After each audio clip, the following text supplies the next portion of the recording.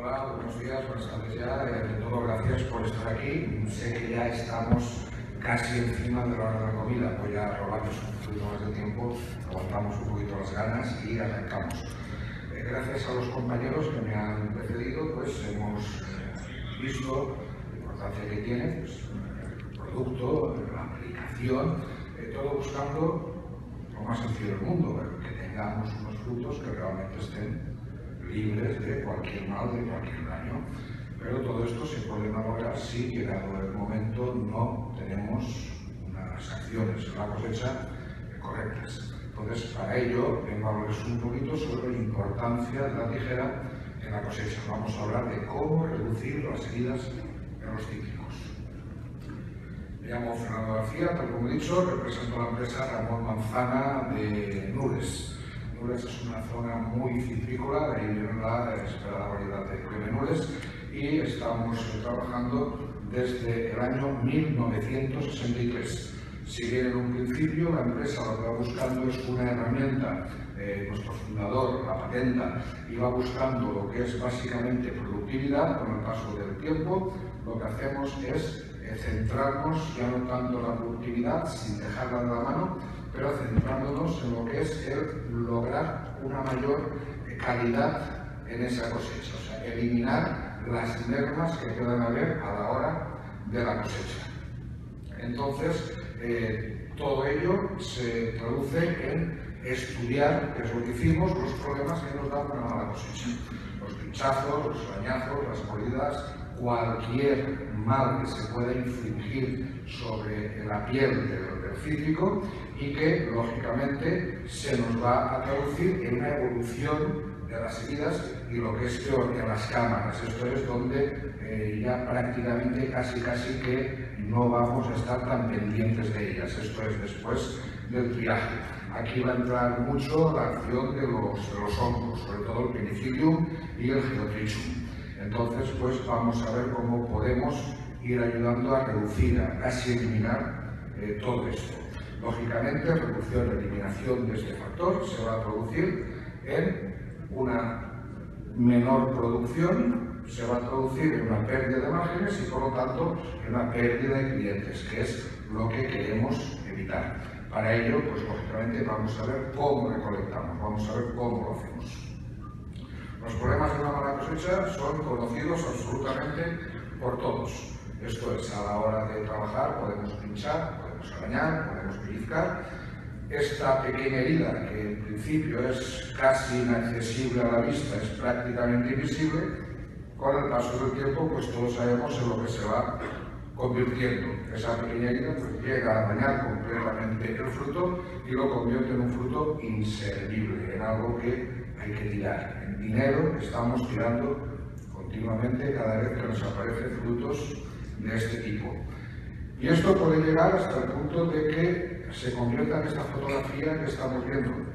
Una fotografía que lamentablemente nosotros rara vez la vamos a ver.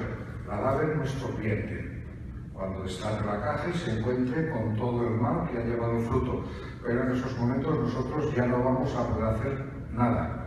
Nada que no sea rezar y que el cliente pues, nos siga aguantando y nos siga manteniendo un poco. Eh, resumiendo, que todo lo que sea evitar heridas va a ser reducir podridos en la fruta. Esto que ven aquí es una fotografía ilustrativa. Aquí hay que reconocer que actuamos un poquito, entre comillas, con, trampa. La parte sana de, las mandarinas eh, les hicimos unas heridas similares a las que podían sufrir eh, durante la recolección. Esto es, que ya he pellizcado, pequeños cortes. Procuramos que todos fueran inaccesibles a la vista a la semana y media aproximadamente, todas se habían convertido en lo que vemos ahí abajo. O sea que ese es el daño que nos debe de preocupar, no el gran daño. El gran daño se ve y durante el triaje las triadoras lo destrían, se va fuera. Es ese pequeño daño, esa rozadura, ese pequeño pinchacito que pasa inapreciable para la vista y que luego se convierte en todo lo que ahí estamos viendo. Resumiendo, si reducimos las heridas, reduciremos los podridos. Decirles también que este, esta frase es eh, realmente nuestro, yo me atrevería a decirlo, grito de guerra. ¿eh? La guerra que en Manzana tenemos declarado contra toda esa posibilidad de ir el fruto, de dañar el fruto. El modelo M11, que es lo que vengo a hablarles y que lo haremos en nada, respecto a modelos que se están utilizando actualmente en el Perú, ha demostrado tener unas menores pérdidas económicas y comerciales y, por lo tanto, traducirse en un mayor beneficio, que es lo que lógicamente todos los que estamos aquí vamos siempre buscando. La valoración de esa fruta herida, de esa fruta malograda durante la cosecha, se producen pérdidas económicas y comerciales, entonces voy a enseñarles unos pequeños datos muy ligeros de, una, de la situación de la campaña 2015-2016 aquí en el Perú. O sea, no estamos hablando de, los datos nuestros en España, estamos hablando de la situación de la campaña aquí en el Perú. Entonces, concretamente, eh, el daño producido por las tijeras que habitualmente se están utilizando en estos momentos aquí en el Perú supone aproximadamente un 10% de la cosecha. Si esta mañana en la charla de apertura del Congreso hablábamos o hablaban de una producción en Perú de 1.500.000 toneladas, creo recordar aproximadamente, o era más, por ahí andaba, ¿no? Pues un 10% estamos hablando de, de, muchas toneladas de pérdida, muchas toneladas de fruta que se van completamente fuera. Eh, con nuestra tijera eh, esos daños se reducen al 0,5%. Esto es, no llegamos a 1, con lo cual no se considera realmente una tijera que esté produciendo daño, existe un 0,5%. Esto tengo que decir que ya lo saben muy bien nuestros clientes aquí en Perú, que ya hace tiempo que están utilizando nuestra tijera. O sea, no estamos hablando de algo que saquemos al mercado, no, hablamos de algo que ya se está utilizando aquí en el Perú con gran éxito. Eh, la reducción de daños en total de la cosecha con respecto a estos otros modelos de tijera que estamos hablando es de un 64%. Estos datos del 64% no los hemos obtenido nosotros.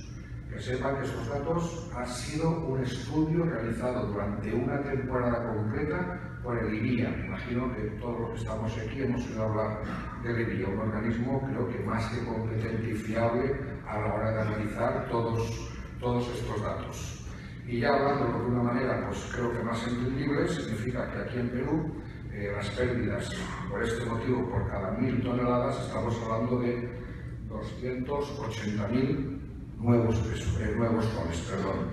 Esto es una cantidad lo suficientemente interesante como para plantearse con qué tijera vamos a recolectar nuestros cítricos. La propuesta que vengo a traerles es sobre alicate M11. El alicate M11 es un alicate ya de última generación, en la cual pues, se hace muy claramente patente la frase nuestra que les acabo de comentar de si reducimos las heridas, reduciremos los podridos. Las características técnicas de esta tijera empiezan con su cuerpo de acero al carbono. Estamos hablando de un cuerpo de acero al carbono, pero con dos tipos diferentes de temple. No tenemos el mismo temple en la hoja que en los manos. ¿Por qué? Porque es diferente la fuerza que tiene que soportar la tijera en un punto y en otro. Esto se va a traducir en una mayor duración de la herramienta. La siguiente característica a destacar es una hoja de corte extra fina, concretamente de 0,8 milímetros. Esto lo hacemos con el fin de poder cortar la fruta lo más, lo más, lo, dejar el pedúnculo lo más corto posible, con el fin de evitar los pinchazos que más tarde se irían dando de dejar un pedúnculo más largo cuando vamos tirando la naranja al saco o al capazo y luego cuando la vamos metiendo en las cajas. Disminuimos, por lo tanto, el riesgo del pinchado en la post cosecha. Un sistema de corte deslizando un main pass, esto es el sistema que utilizan la gran parte de, de tijeras. Hay algunos modelos americanos que no lo hacen Y en este caso lo que conseguimos es una tijera que mm, sufre un pequeño autoafilado mientras va ella misma trabajando, se consigue por lo tanto un rendimiento más estable a la hora de la recolección y una vida útil siempre superior a una campaña. Esto es que realmente, eh, por así decirlo, vamos a pagar por la tijera lo que verdaderamente vale. Ya entrando en, otras, en otro tipo de características, pues bueno, aquí ven una forma completamente curvada. Esta mañana creo que ha sido también en la sala, no, eh, no, ha sido una persona con la que hemos estado hablando fuera y que se quejaba de que con un tipo de tijeras, como voy a decir cuál se refería, el típico dolor en la muñeca del recolector. Esta forma curva viene dada para que la muñeca en todo momento trabaje recta, para que la tijera al ir hacia abajo ataque directamente el pezón lo más corto posible, mientras que la mano sufra lo menos, lo cual se va a traducir en un mayor rendimiento a la hora de cosechar.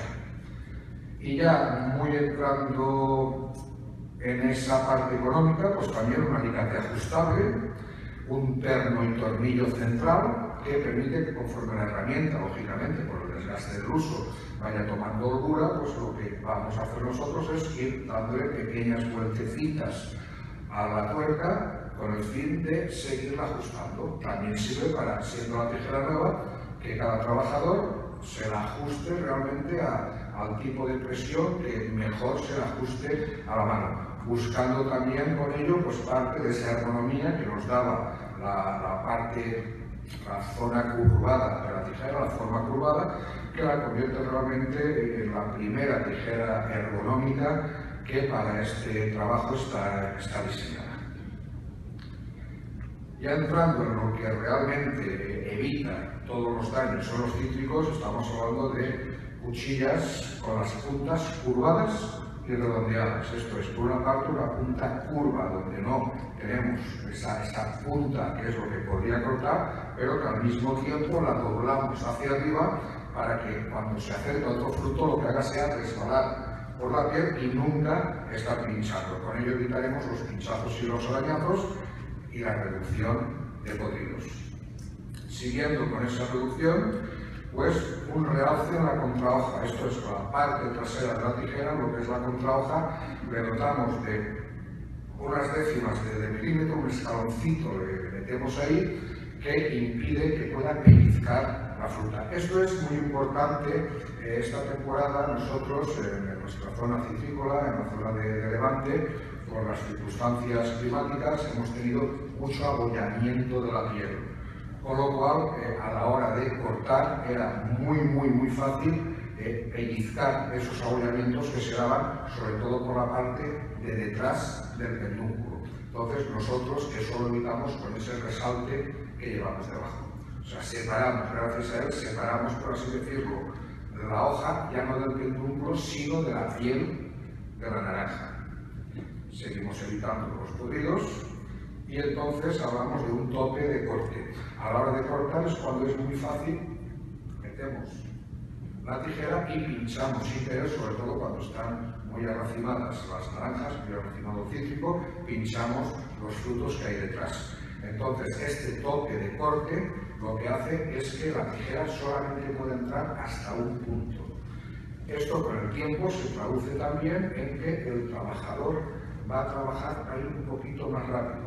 ¿Por qué? Porque sabe que no se puede pasar, tiene ahí el toque que le va a dar, con lo cual simplemente lo que hará será meter tijera para cortar y ya está. Ahí vamos a evitar herir todas las frutas que están detrás o las frutas cercanas a donde estamos cortando y por lo tanto seguimos con la reducción de podridos, que es lo que realmente nos interesa. Eh, estamos hablando, por supuesto, de una cosecha correcta, realizada con tijera y tal como hemos visto, pues todos nuestros esfuerzos van dirigidos a evitar esos daños. Esto es, que todo ese dinero que nos hemos gastado en los tractores, en los productos de Bayer, en los atomizadores y todo eso, pues no tenemos que tirar por culpa de que luego no hemos cogido bien la fruta. O sea que resulta que al final, por lo más baratito de todo, el ahorro que tenemos es impresionante. Si reducimos heridas, por lo tanto, reduciremos las pérdidas por podrido en almacén y con la tijera M11 les recuerdo que podemos reducir todos estos daños hasta en un 64%. La única tijera que van a encontrar ustedes en el mercado que les dé estos resultados. Por el uso de esta tijera, pues con lo que nos encontramos es con una mayor eficiencia de la cosecha y sobre todo con una mayor rentabilidad económica. Recuerden ustedes eh, la cantidad de soles nuevos que se nos iban por cada mil kilos de fruta en el estudio que hemos hecho concretamente sobre el Perú. Estamos hablando, por lo tanto, de una tijera fabricada por nosotros, por Ramón Manzana Lunes, un número muy simple, muy fácil de recordar, modelo M11, y que va a suponer para todos una garantía de éxito. Gracias por la atención. Eh, ya podemos ir todos a comer. Si alguien quiere hacer una pregunta, aquí me tenéis, que yo no tengo stand. Yo he venido sin estar ni nada. Así que cualquier cosita, el que quiera que aproveche todavía.